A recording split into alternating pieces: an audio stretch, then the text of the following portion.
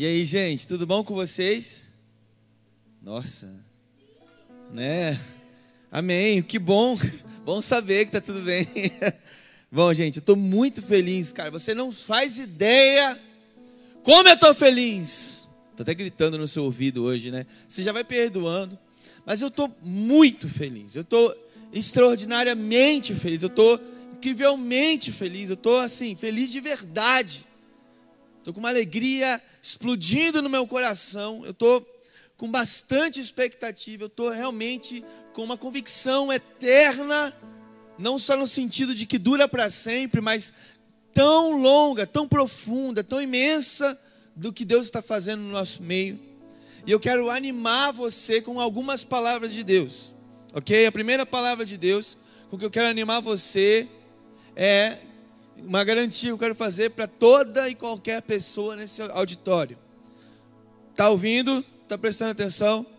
Eu quero dizer uma coisa para você.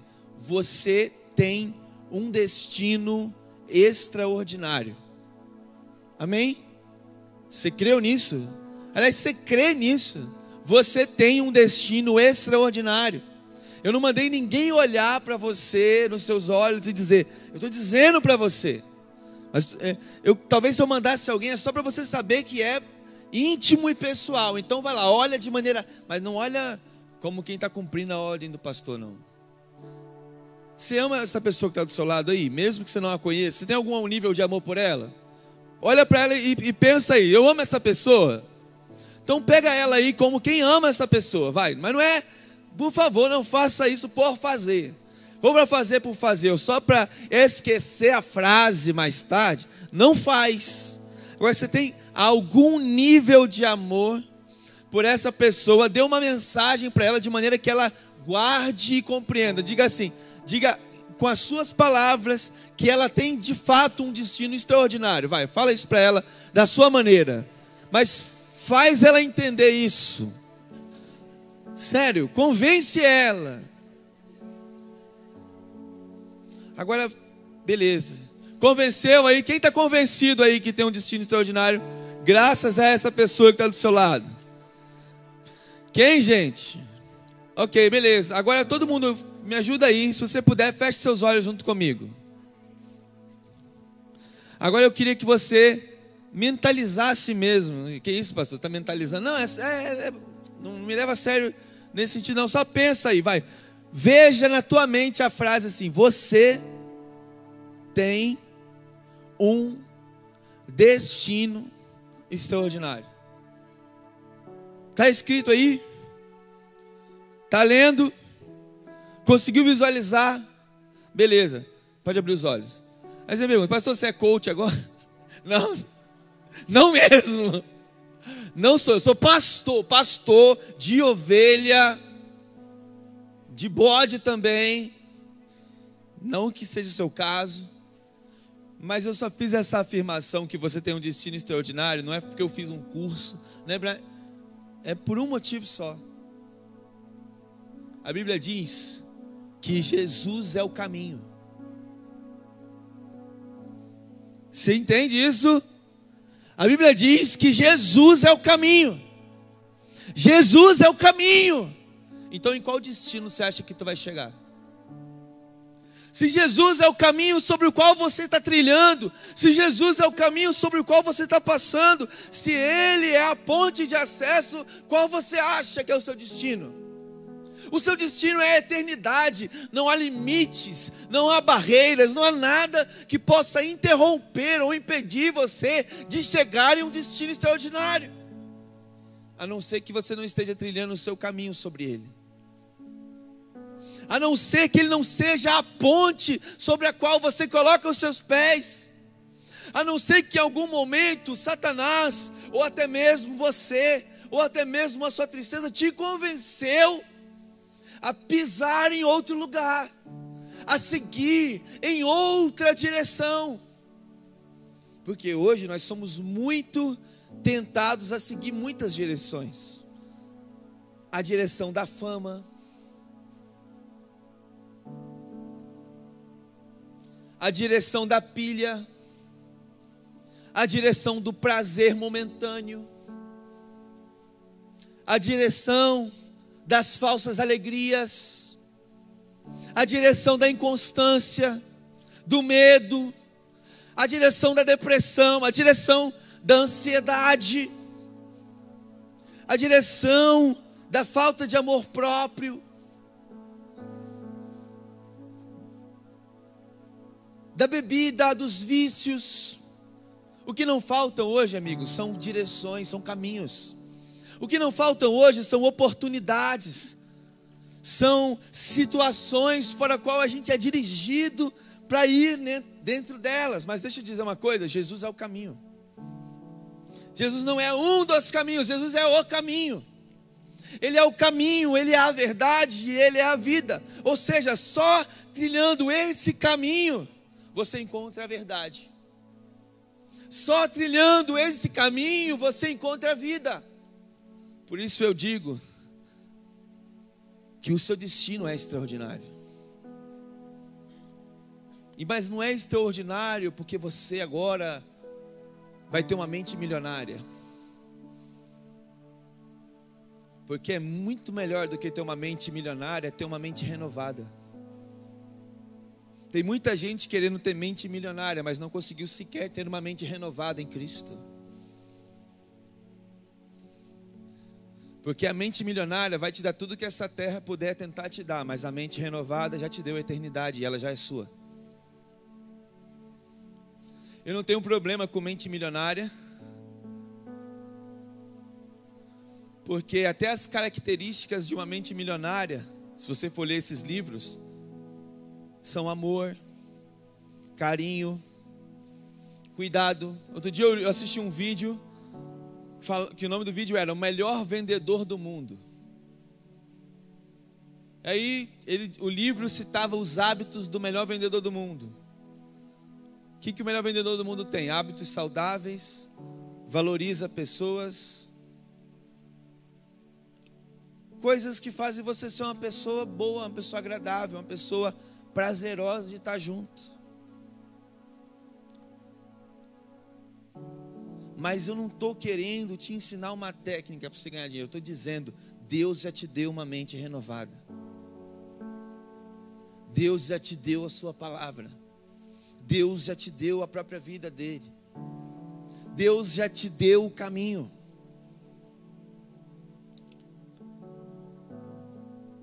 Sabe, Marcos 16, 15 diz: Eu sou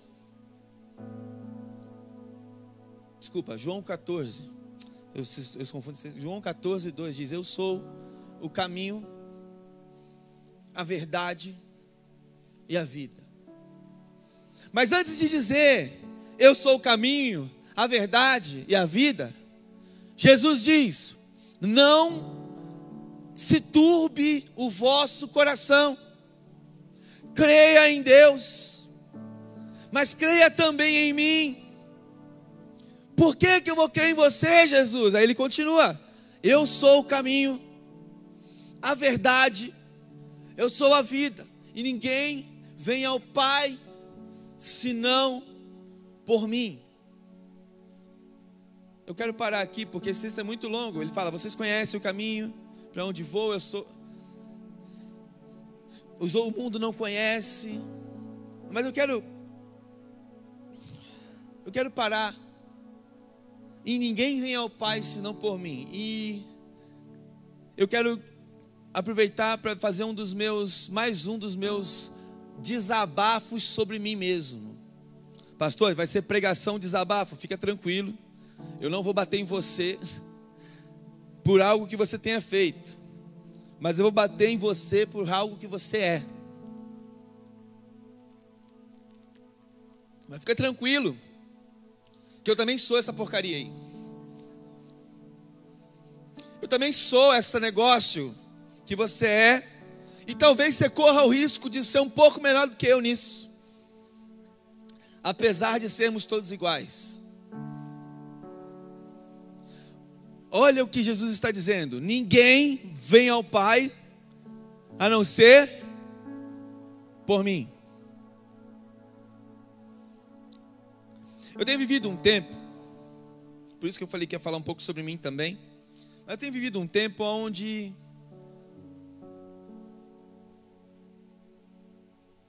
Deus ele está me encurralando. Hoje a gente estava na reunião da equipe do Vida Vitoriosa, uma pessoa falou que encurralou Deus. Deus ficou até com problema psicológico para essa pessoa. Mas eu falo para você que eu tenho sido encurralado por Deus. Porque se Jesus ele é o caminho, o único caminho, e a gente está trilhando outro caminho, mas só existe um e Ele nos ama, e a gente já começou a caminhar no caminho dele, quando a gente começa a se desviar, conhece algum desviado aí? Hoje o desviado da história sou eu, fica tranquilo. Mas quando você começa a se desviar um pouco do caminho de Jesus, se você já tem Jesus como a verdade, e se você só tem um objetivo, que é caminhar na direção da sua vida, eu quero dizer uma coisa a você: Ele vai começar a encurralar você. Deus vai encurralar você, porque não há em Jesus uma parte que admita que você vá em outra direção. Se você disse, eu estou encaminhando em direção à vida, a Bíblia diz: há caminhos que ao homem parecem bons, mas seu fim são caminhos de morte. E às vezes eu, Tiago, Santiago, encontro caminhos durante a minha vida que me parecem bons.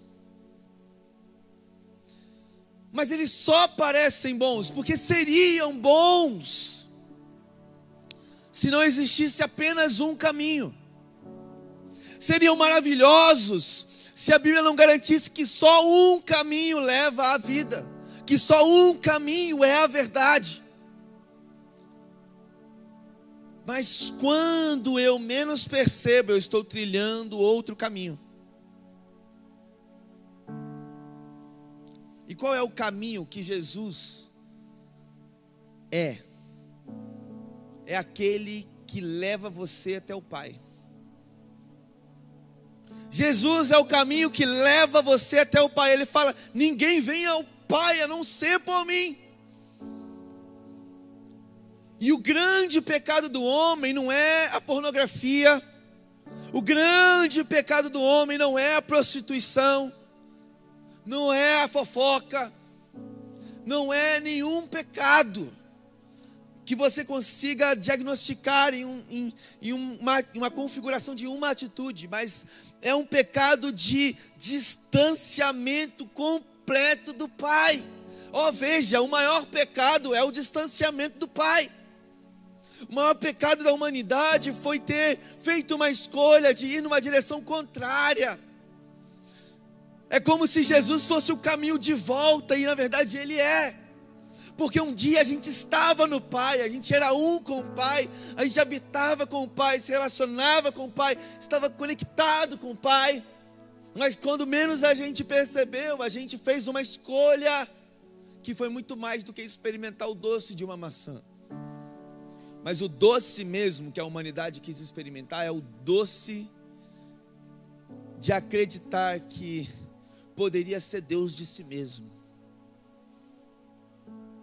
Então a gente se distancia do Pai, e a gente vive séculos e séculos de distância, tentando retornar esse relacionamento através de sacrifícios, de coisas que a gente poderia fazer para que a gente pudesse restaurar o caminho, mas havia uma promessa de que o caminho de fato, definitivamente, viria a ser instaurado em algum momento por alguém que pisaria a cabeça da serpente aniquilaria o poder daquela manipulação sofrida por nós e nos restauraria. É um recomeço da humanidade, é um reencontro da humanidade com o Pai. E por que chamamos Pai? Porque nele fomos gerados, pelo seu Espírito fomos soprados. forjados pelas suas próprias mãos em meio ao barro.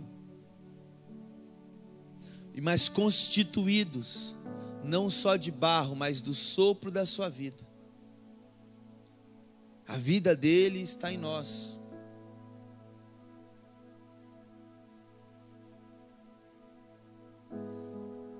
E Jesus diz: Eu sou o caminho. Sabe por que Jesus diz: Eu sou o caminho? Ele diz: Eu sou o caminho porque Ele é a resposta para o nosso afastamento de Deus. A pessoa de Jesus é a resposta para a nossa distância de Deus. E não existe nenhuma outra função na vida de Jesus senão nos levar de volta para o lugar da onde a gente nunca deveria ter saído. Pastor, então essa é uma pregação evangelística, né? Você está falando para quem ainda não sabia que estava longe de Deus, aprender que estava longe de Deus, para agora ela aceitar Jesus e aí ela agora está em Deus. Ah, seria fácil. Mas irmãos, essa palavra não é simplesmente para quem ainda não conhecia o plano de salvação de Jesus. Mas essa palavra é para mim e para você, por todas as vezes que nós trocamos o caminho. Por todas as vezes que Jesus estava dizendo, eu vou te conduzir até o Pai. E você falou, não, Jesus, eu estou querendo as coisas que o Pai pode me dar. Não, Jesus, eu não. Eu, eu, eu, eu, eu quero ir para o Pai, Jesus, mas eu quero pegar um monte de atalhos. Eu tenho uma série de caminhos que eu acho que vão me levar até o Pai. Por exemplo, servir no ministério. Por exemplo, ser um youtuber gospel. Que não é errado. Não estou falando mal dos youtubers gospel, mas você não pode colocar ser um, um, pregador como caminho, porque ser um pregador não é o caminho. O Jesus não está te levando a ser um pregador. Jesus não está te levando a ser famoso. Jesus não está te levando a ser cool, a ser cult, a ser rico, a ser isso, a ser aquilo. Jesus está te levando ao Pai. E às vezes a gente está dentro da igreja, dentro do corpo de Cristo, querendo chegar ao Pai com todo tipo de coisas, menos com Jesus. Ou querendo Jesus para todo tipo de coisas, menos chegar ao Pai. Você já percebeu que às vezes você usa Jesus para chegar em todos os lugares, menos no Pai? A gente usa o Evangelho para conquistar um monte de coisas menos o Pai. Mas Jesus está dizendo: Eu sou o caminho para o Pai. Eu sou o caminho que leva você até o Pai. E a gente vem para o culto, por exemplo, do Biwan, com uma expectativa de que o louvor seja assim, que a palavra seja assado, que a liturgia seja tal, que tenha tantas, tantos números de pessoas. E eu, como pastor, confessando o meu pecado, dentro, eu, eu ri de mim quando apareceu aqui que a escola B1 é para te ensinar a ter o estilo de o lifestyle B1. Eu fico me perguntando o que é o lifestyle B1. Você entende? Lifestyle B1. Nós somos um caminho para o Pai agora. Está entendendo? Estou falando de mim mesmo. Eu sou o caminho para o Pai agora. Eu sou, vou te ensinar o Lifestyle B1, que o Lifestyle B1 vai te levar até o Pai. Ou então, mano, a banda que vai te levar até o Pai tem que ter a Raíli cantando. Não é verdade? O culto que vai te levar até o Pai é o culto da conferência, porque vai ter convidados muito fortes. Vou trazer aqui o cara que tem arrastado as multidões, porque esse cara sim vai te levar até o Pai. A igreja que vai te levar até o Pai tem tantos por cento de reteté Ou então tem tantos por cento de doutrina reformada. Você nem se entende o que eu estou falando. Acho que entende, a maioria entende. 100% entende. O que eu estou dizendo para você é que a gente está arrumando um monte de caminho para o Pai, só menos Jesus. Eu vou escolher tal discipulador, porque aquele discipulador sim vai me levar para o Pai. Aquela célula sim vai me levar para o Pai. Você está entendendo? Eu vou ler esse livro aqui. Eu vou seguir esse blogueiro. Esse sim. Vou criar uma facção gospel aqui, porque esse cara vai me levar até Jesus. O que eu estou dizendo é que Jesus ele falou: só existe um caminho, meu pai. E sabe o que é pior? Não é quando a gente escolhe, isso já é terrível. O caminho errado para o pai é quando a gente escolhe um caminho que não leva para o pai. Quando a, nossa, a direção que a gente está indo não é para o pai, não é para Deus que eu estou indo. Eu estou indo para 40 milhões de visualizações. Eu estou indo para vender 5 mil ingressos para a Beyond Conference. Eu estou indo para, sei lá, ter um casamento bonito e feliz. Eu estou indo para.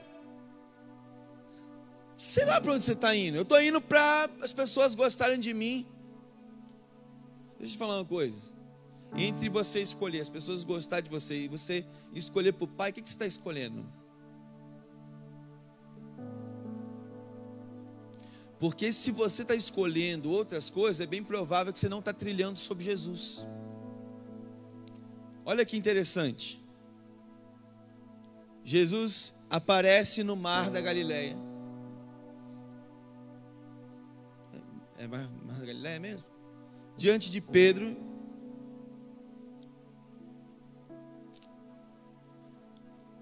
E aí Pedro fala: se é você mesmo, se você não é um fantasma, manda ir ter contigo. Aí que Jesus fala: bora, vem. E o que acontece com Pedro? Ele anda sobre as águas.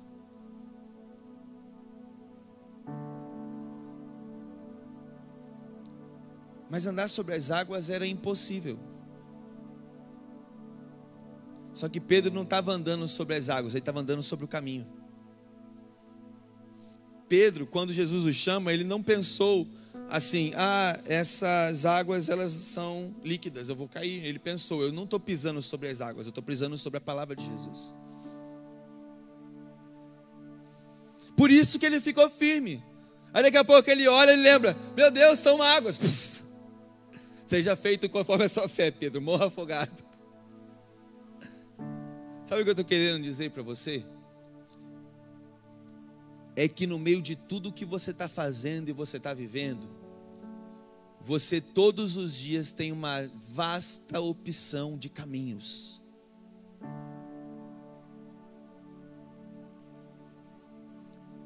Mas só um caminho te leva para o Pai.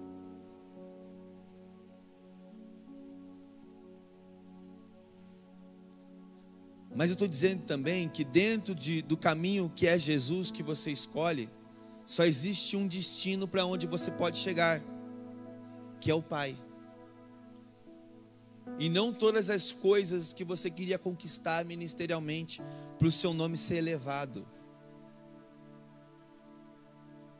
Não todas as coisas que você poderia fazer para que você se tornasse com um nome mais grandioso, porque o Evangelho é acerca de apenas um nome. O Evangelho é acerca apenas de uma pessoa. A Bíblia diz em Mateus 28 que toda a autoridade foi dada a esse nome nos céus e na terra. Só existe um nome, só existe um caminho, só existe uma pessoa. Alguém me disse, pastor, eu já mexi com tudo que é religião. E as coisas que eu vivi fora do cristianismo, eu, eu vivi no cristianismo igual. Eu concordei com a pessoa que o cristianismo e as outras religiões são tudo igual, tem o mesmo poder.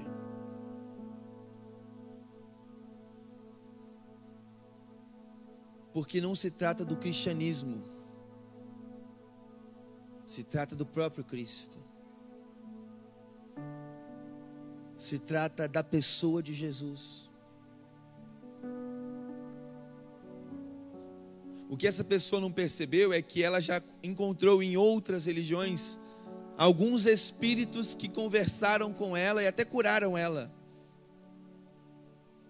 Só que o objetivo do Espírito Santo de Deus, que pousava sobre Jesus, não era gerar em você um benefício temporário,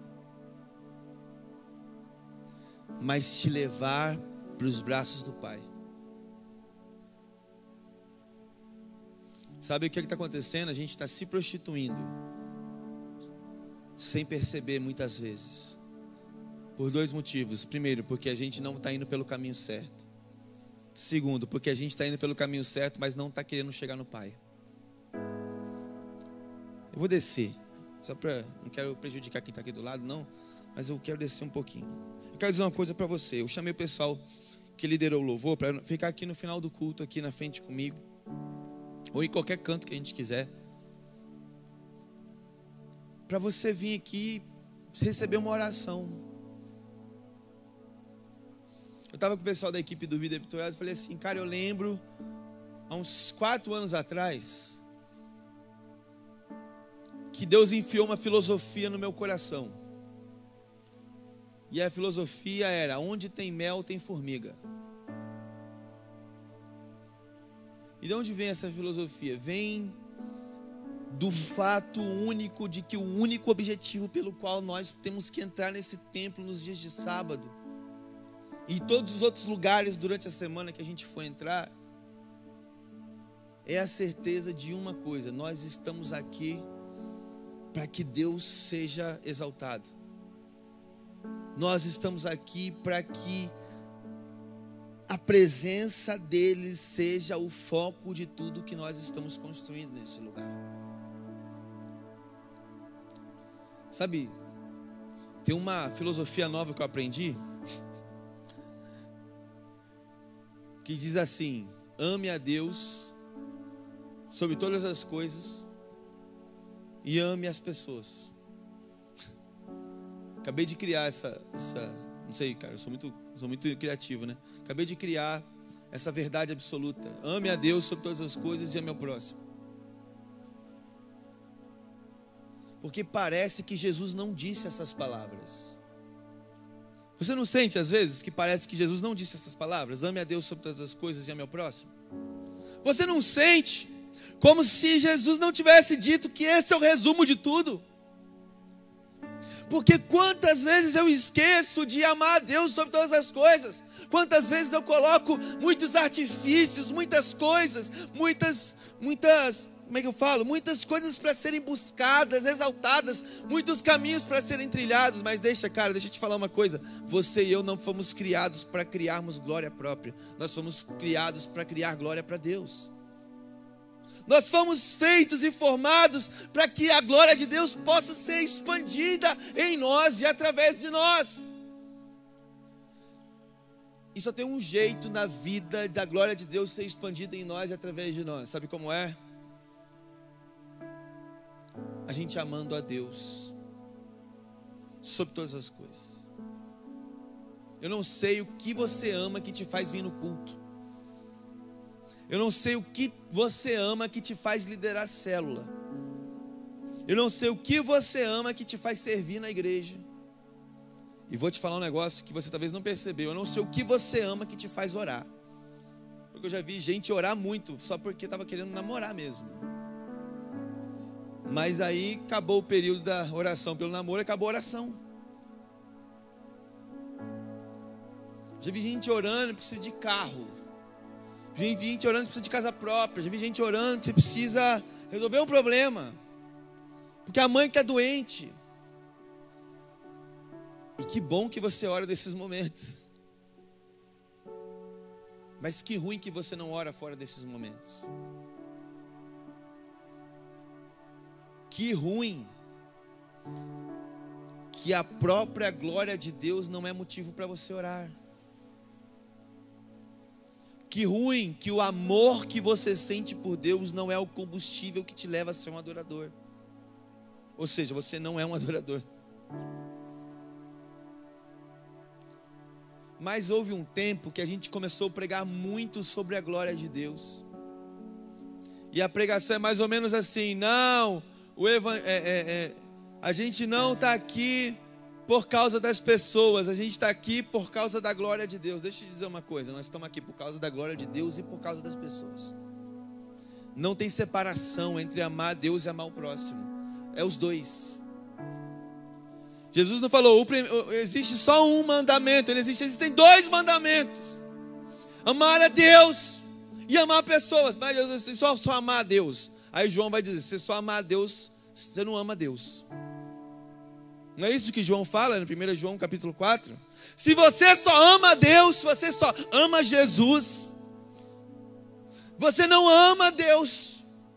Porque a Bíblia diz: se você não ama as pessoas que você vê, você é louco de achar que ama Deus que você não vê. Então deixa eu dizer uma coisa sobre o Biuan para você. O Biuan a partir de hoje mais do que nunca, não que ele não fosse, mas talvez fosse 20%. Mas o Biuan, a partir de hoje, mais do que nunca, só existe por um propósito.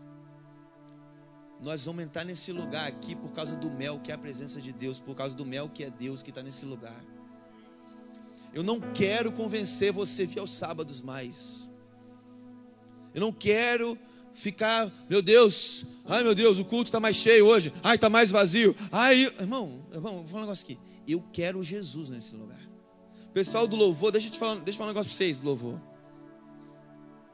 que se dane performance.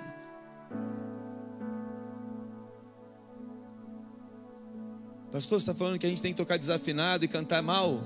Você está falando que a gente não vai ter teste vocal e escala? Claro que vai ter teste vocal e escala.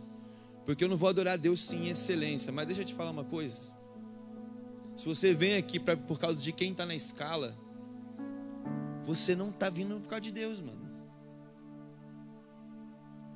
Se você vem aqui por causa de quem está na escala da pregação, vamos te falar um negócio. Quando é que o pregador se tornou maior do que a mensagem?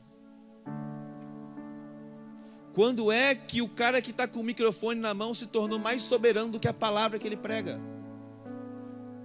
Se isso acontecer, eu quero te dizer uma coisa: você não está indo para o Pai, você está indo para mim, ou para o pregador que você gosta. Você está indo você é discípulo do youtuber, não de Deus, não de Jesus.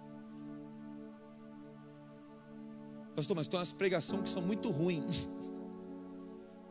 Retém o que é bom, irmão.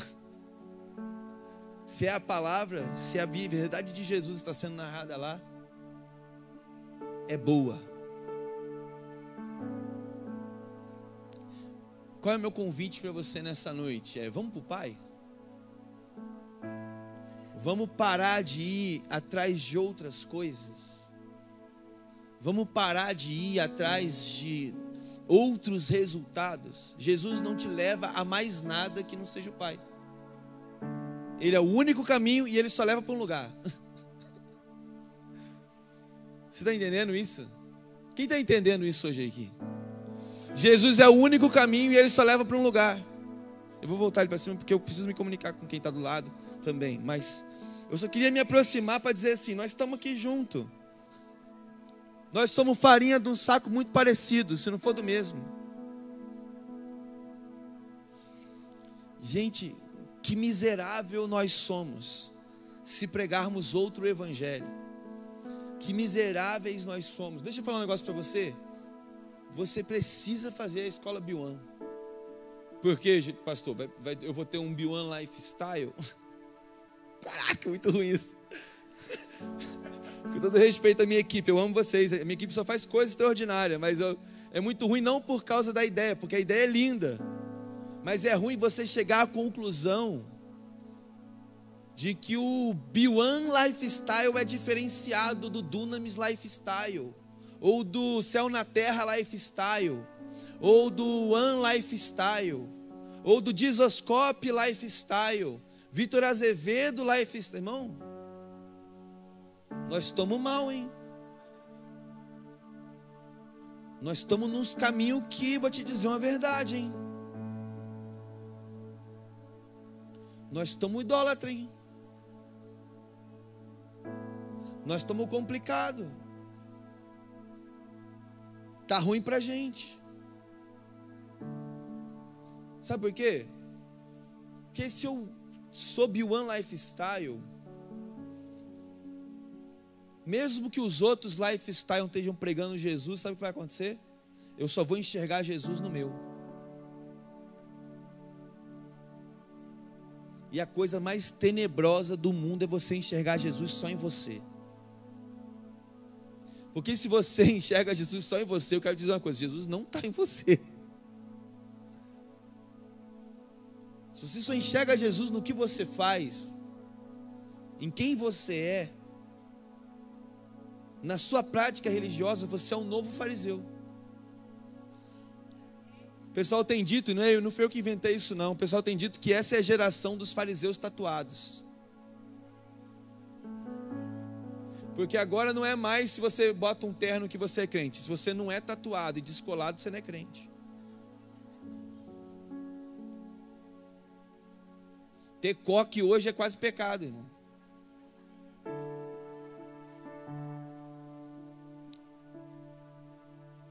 Então o resumo da pregação é não faça tatuagem.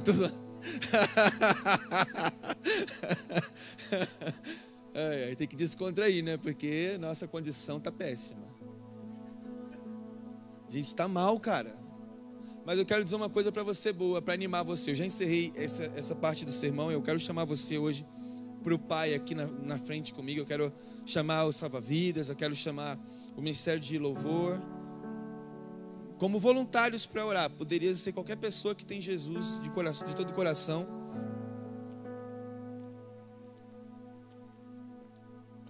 E você do Salva-Vidas e do Louvor que vai orar comigo, já pode vir aqui para frente. Vem cá.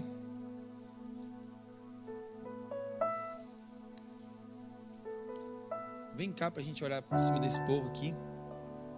Vou falar um negócio para você, cara.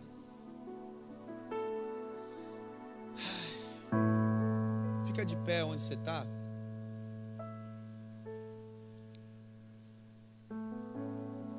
E se você entendeu o que eu preguei hoje,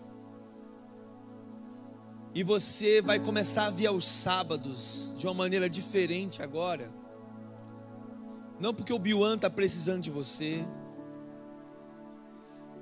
não porque o culto vai ser melhor ou pior do que semana passada. Não porque a escala dessa semana é a X ou Y.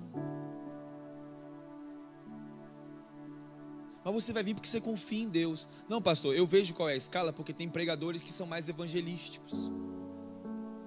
E eu quero trazer meus amigos para ouvir uma mensagem mais evangelística, para ele não se decepcionar com o evangelho. Você riu, mas você pensa isso.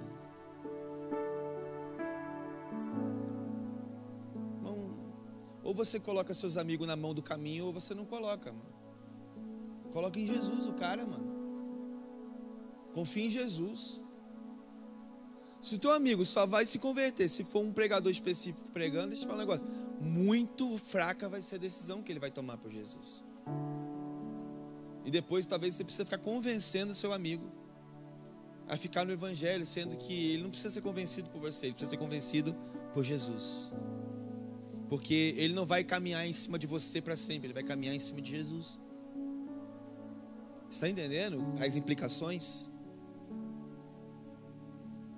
Você pisa em Jesus, não no sentido de massacrar Jesus, mas de trilhar o caminho que ele é. Você pisa nas pegadas de Jesus. Você segue a Jesus. Você entende que Jesus é tudo o que você precisa. E por isso que nenhum outro espírito pode ser o espírito da sua vida, só o Espírito Santo mesmo, que vai habitar em você. Porque é o único que realmente vai te trazer vida e vida em abundância. A pregação que eu preparei hoje era sobre Atos capítulo 10. Pedro, na laje orando e Deus ouvindo a oração de Cornélio. Mas, cara, tá tão latente em mim que a gente precisa, como Biuan, voltar a vir para esse lugar, porque Jesus, Ele está esperando que a igreja se una em prol dele. Ele está esperando que o Biuan se una em prol do propósito de glorificar Ele. E eu quero pedir perdão. Eu não, eu não acho que eu sou a pessoa mais idólatra do mundo. Mas eu sou automático, eu entro no automático igual você. Ou pior. De repente você entra menos no automático do que eu. Eu quero saber quem que é o profeta dessa casa que vai olhar nos meus olhos e falar assim, pastor, assim, com todo respeito, isso é uma benção.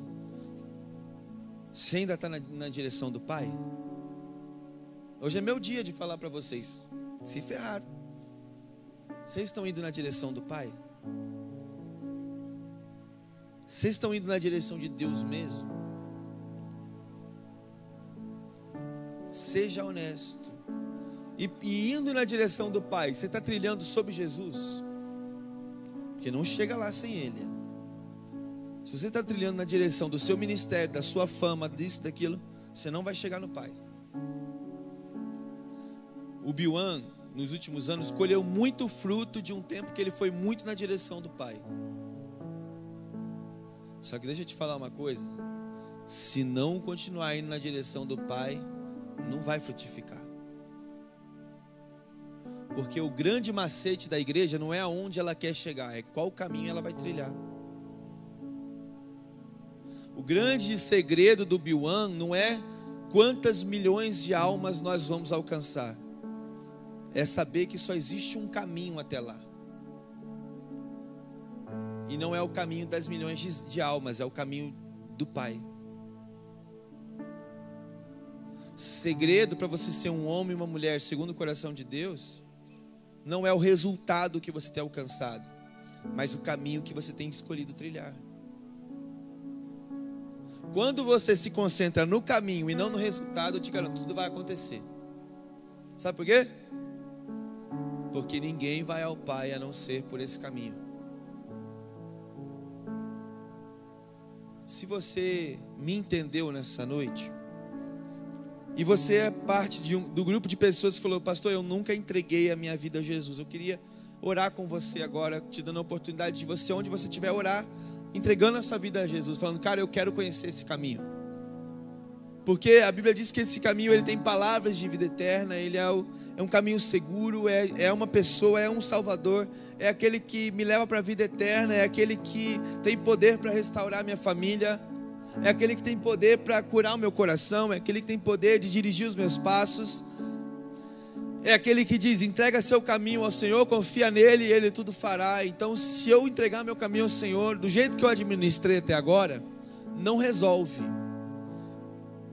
Então, se você hoje quer entregar a sua vida a Jesus, aonde você estiver, repita aí bem baixinho, ou como você quiser, essa oração comigo, dizendo: Jesus, eu entrego a minha vida agora ao Senhor.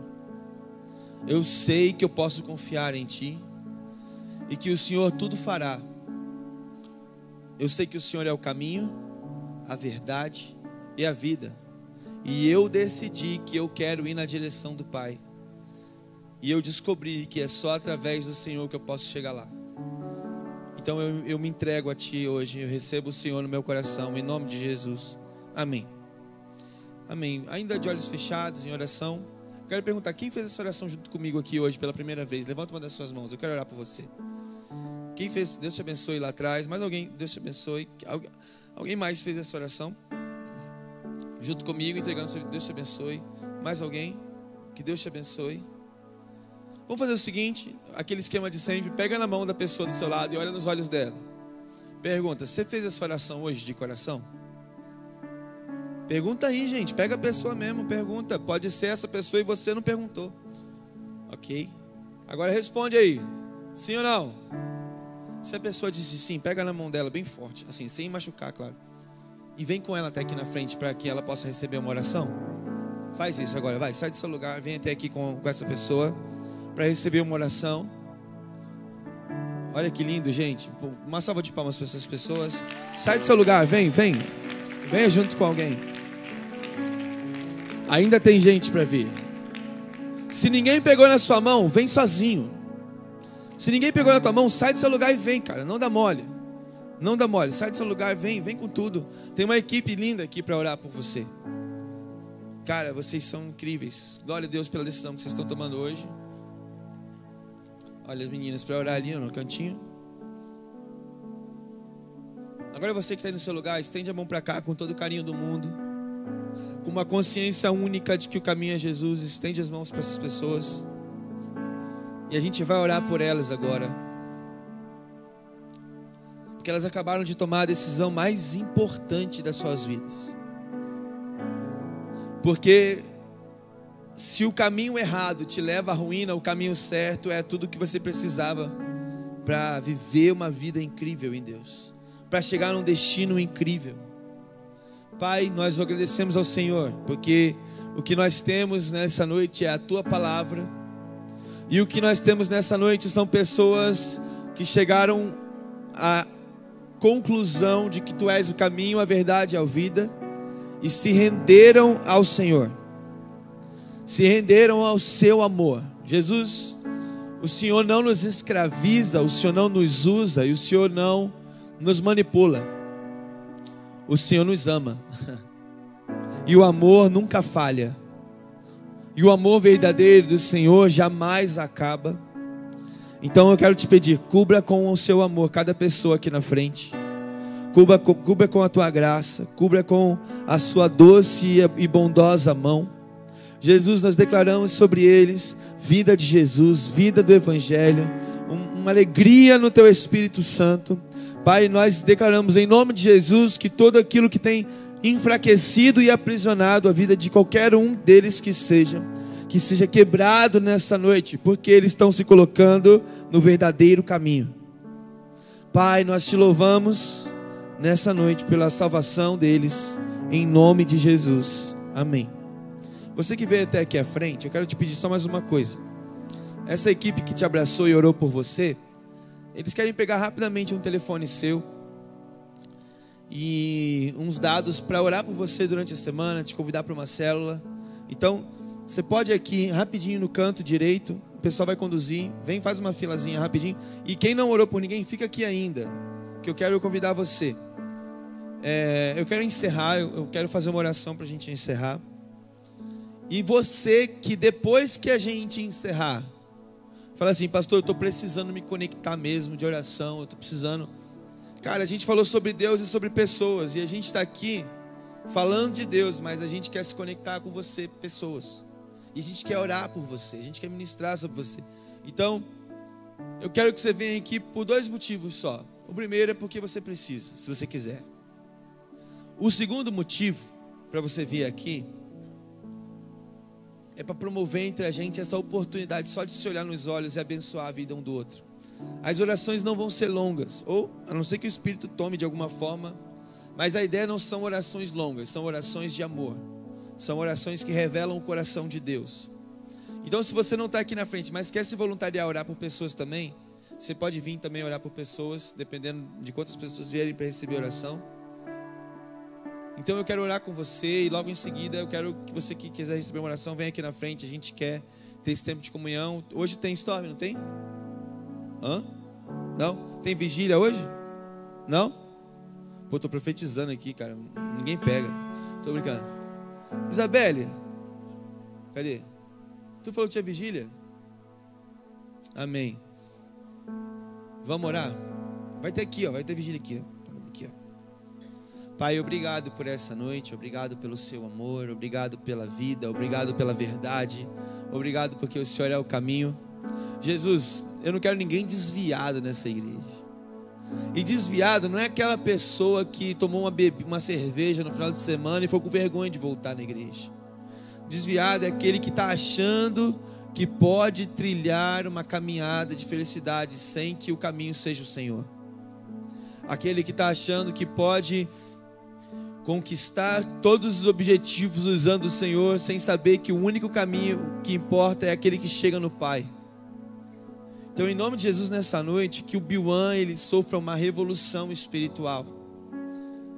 Não porque eu acho que vai haver, mas porque o Senhor tem dito que se a gente for fiel, caminhar no caminho certo, para chegar no lugar certo, o Senhor tem recompensas automáticas que vêm sobre nós, porque o Senhor tem prazer numa igreja que se reúne para te adorar de verdade. O Senhor gosta de se manifestar numa igreja que se volta com verdade na tua direção. E eu sei que a igreja Atitude é isso, e que o Biwan também é isso. Em nome de Jesus, que o Senhor abençoe. Eu quero declarar agora sobre aqueles que estão aqui na frente orando que muito poder fluirá sobre eles, muita graça fluirá sobre suas mãos. Eu declaro curas acontecendo agora, eu declaro restaurações, eu declaro que pessoas vão receber oração e vão ser curadas de ansiedade, curadas de, de, de problemas emocionais, de problemas sentimentais, de problemas espirituais. Eu declaro que esse chão desse altar aqui embaixo é uma terra santa, é uma terra de ação do seu poder é uma terra de. Cara, isso é forte, Deus. É uma terra de reconciliação, é uma terra de se fazer igreja, é uma terra de conexão, é uma terra de se tornar família, é uma terra de se tornar corpo. Jesus devolve para a gente o amor ao Senhor e o amor pelas pessoas de uma maneira que a gente nunca viveu.